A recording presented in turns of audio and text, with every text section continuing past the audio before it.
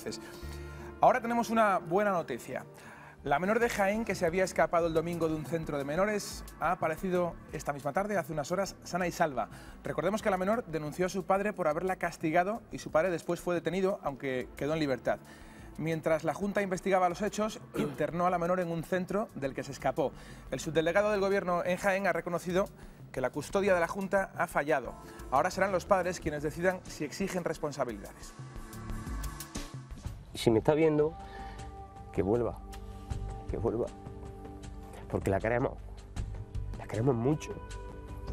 Y necesitamos cogerla y abrazarla. Era el llamamiento desesperado de un padre que no sabía nada de su hija desde hacía dos días. Hace unas horas su agonía ha terminado. Julia, de 16 años, ha aparecido.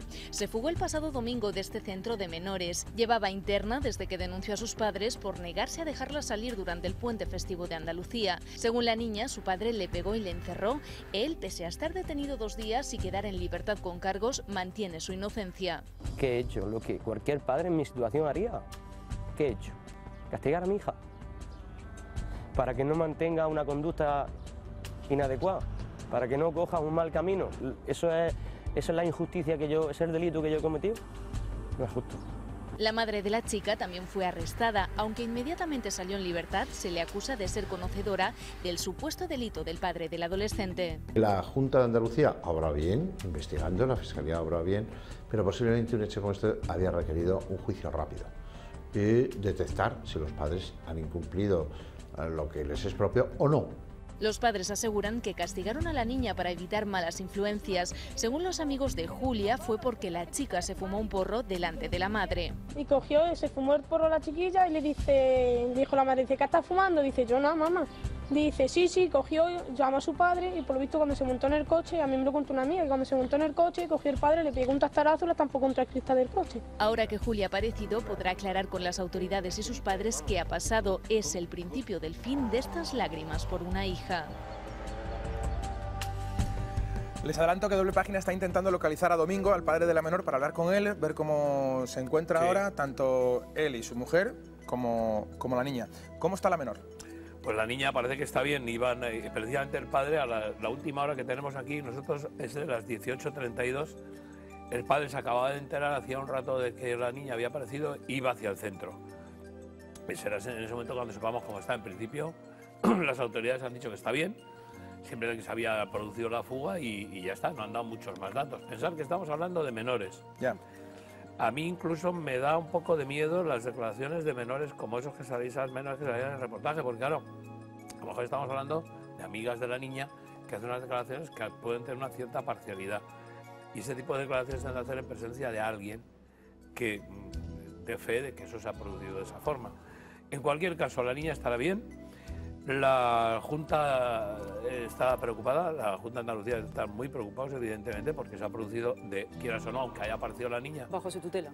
Estaba, bajo su responsabilidad y ha desaparecido, lo cual no dice mucho a favor de, de la custodia. Pero por otra parte es que estamos ante uno de los casos que ahora se producen con cierta habitualidad y que a mí me ponen los pelos de punta. ¿Y qué va a pasar a partir de ahora, Manolo? ¿La, menor vuelve con, um, con, los, con, con, su con, su padre? ¿Con su padre o al centro de menores? Pues yo creo que volverá al centro de menores. Lo que pasa es que a lo mejor ahora, ante, la, ante, esa situación que se ha producido, de que, porque hay que recordar que ese el centro es el régimen abierto, es decir, que podía salir.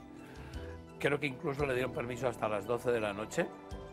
Y entonces, si fue así, Ahora lo que puede pasar es que vaya a un centro que no sea tan abierto, sino que sea un poco más controlado, digo yo, porque sería ilógico mandarla con sus padres, toda vez que se produjo lo que se produjo. Y luego hay algunas cosas que han salido a posteriori y que yo me permito dejar ahí así, dejar caer solo, ¿eh? no, no pretendo nada más, no acuso de nada. Y es que parece ser que a, lo mejor se ha producido esa, determinación de la Junta de ingresar a la niña en ese centro porque podía haber habido algún problema familiar previo a ese castigo de ese día.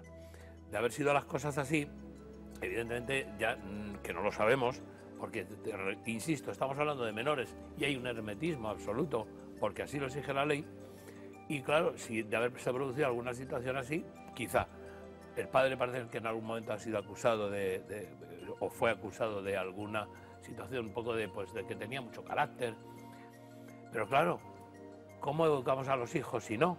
Bueno, si un hijo hace lo que le da la gana, bueno, y de, que la encerró en una casa, en un chalet de, de Úbeda. Bueno, en todo caso, el subdelegado del gobierno en Jaén... Estaba, estaba medio no, no es que la dejaron sí, bueno, allí... Eh, bueno. Sí, bueno, el subdelegado del gobierno en Jaén ha reconocido que la custodia de la Junta ha fallado. ¿Qué medidas legales pueden tomar ahora los padres de esta niña, de esta menor?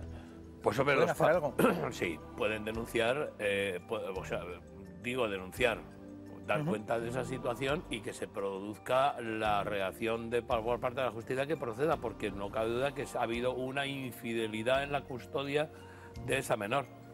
Y eso es una cosa que de, haberse cometido por falta de cuidados, pues estaríamos ante, una, ante un delito cometido por unos funcionarios públicos, que es no vigilar convenientemente a la persona que tiene bajo su custodia. Sería una, una responsabilidad no solo exigible por parte de la familia, sino que también la, autoridad, o sea, las instituciones podrían declarar que de oficio se habrían diligencias informativas para ver cómo se ha producido la fuga. ¿Pero esto es un caso puntual o, Manolo, suele suceder este tipo de, escapadas de estos centros de menores? Por supuesto. ¿Pasan habitualmente? Por supuesto. No solo en estos centros abiertos, por supuesto. En los cerrados... Cuentan con ello, vamos. exacto, vamos a ver.